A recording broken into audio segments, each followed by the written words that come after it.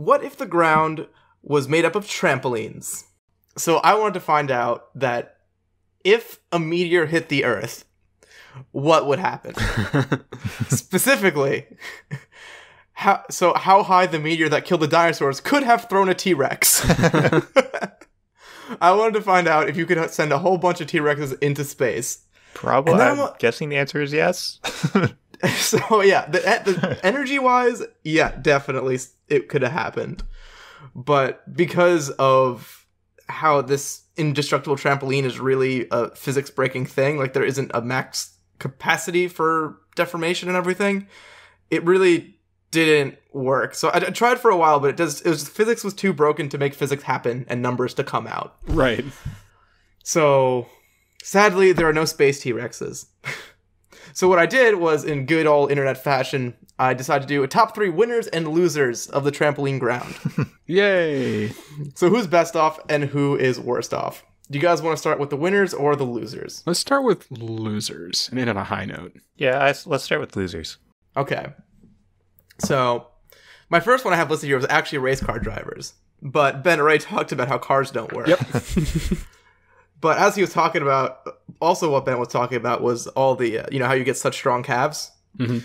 Which got me thinking, actually, one of the biggest losers is got to be cows. Because of animals that are not going to fare well on a bouncy ground, cows have got to be near the top of the list. I feel like anything, actually, just anything that moves by like galloping, right? That doesn't work Like- anymore, right? Yeah.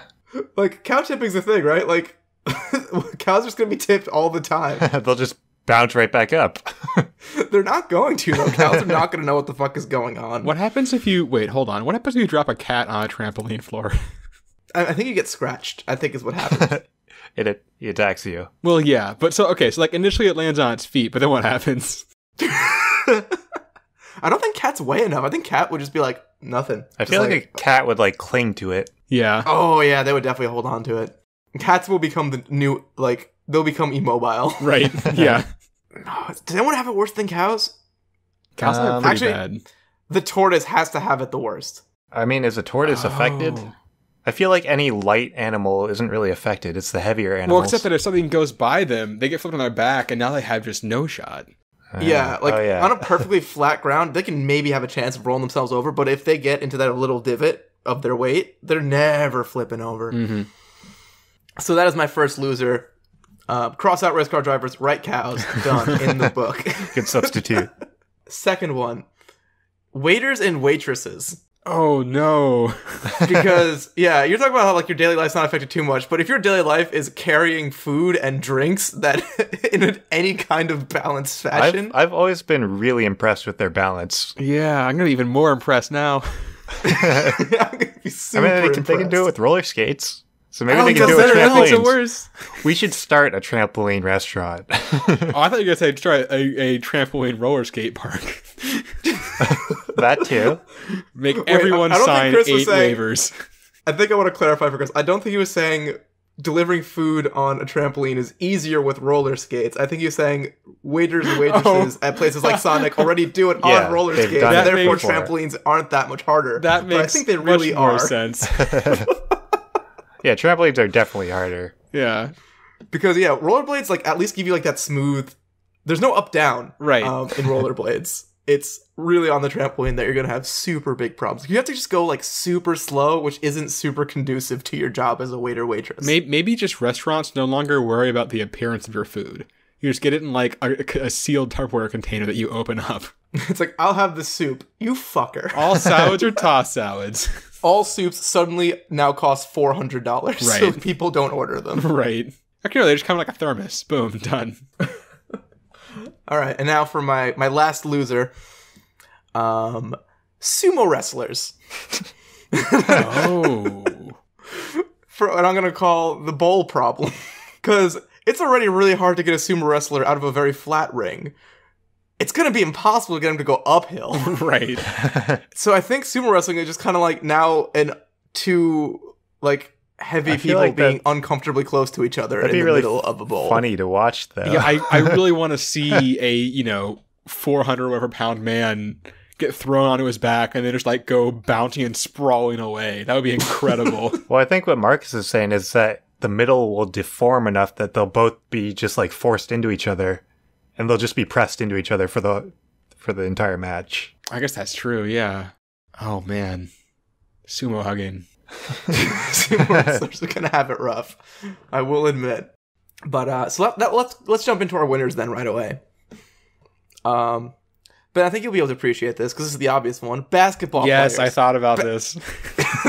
basketball becomes just a much better sport. I mean, people Because- do this, right? yeah. Did you know that actually there was televised like trampoline basketball back some point? I didn't want to say like late '90s or early 2000s. I cannot remember what it Oh, was. was was it it called really? like slam ball or something? Oh, that's such a good name. Come on and slam, and welcome to the jam. It's such a like ESPN like five. Sport yeah, name. it's it's called it's called slam ball. There are four trampolines in front of each net and boards around the court edge so you can't like fly out apparently. Yeah. So they they were aired, of course. They were aired on Spike TV for two seasons in 2002 and 2003. That's very much Spike TV. Yep. Okay, here's my here's my thought though. I think you have the trampolines, but you also double the height of the hoops, so you have to fucking slam jam. Ooh. Like, like just have it like this aerobatic display. Um, acrobatic. What would uh what would like dribbling be? Gone. Just jumps. It's all dunks and jumps. Okay. Second winner. Ben talked a bunch about injuries, so I almost ditched this, but he didn't cover the person who's actually go- what doctor is going to make the most money, and it is the band aid salesman, because people are going to have just perpetually skinned elbows and knees. I like that you called a, a band aid salesman a doctor. Well, band aid salesman isn't a real job title, so I was like, where do you get your band aids from? I guess CVS. I guess CVS makes out, but I don't want CVS to make out. Mr. You know, Band Aid MD. Band-Aid. yes, hi, I'm Mr. Band Aid. Hi, I'm Doctor. excuse me, Doctor Band Aid. I went to Band Aid College for six years.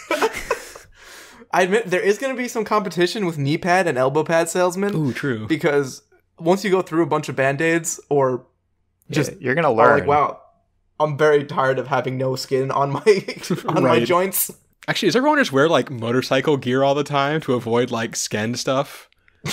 That's an option. i spend most of my life trying to avoid skin stuff Yeah. and then my last winner i got on my list here is firefighters huh. because i think half of a firefighter's job at least is either like getting people to come down from or getting going up to get people from high places This is true. too Cats too. So like, you go with a fire truck. You don't have to go with a fire truck. You can just see a fire and someone's like, "Help me! I'm on the second floor," and you'd be like, "Jump!" Jump. just fucking. Tr- you don't even have to trust fall. Just jump. I don't even need do to bring any of the equipment. Just do it.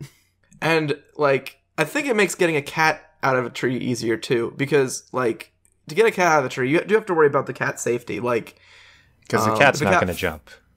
Yeah, Right. the cat's not going to jump or not want to jump. And if you like, if you do something to directly make the cat fall, you could injure them because they fall ten feet. So you have to like get pick up the cat and br- carry him down, which is really not uh, a great proposition if you know how cats work.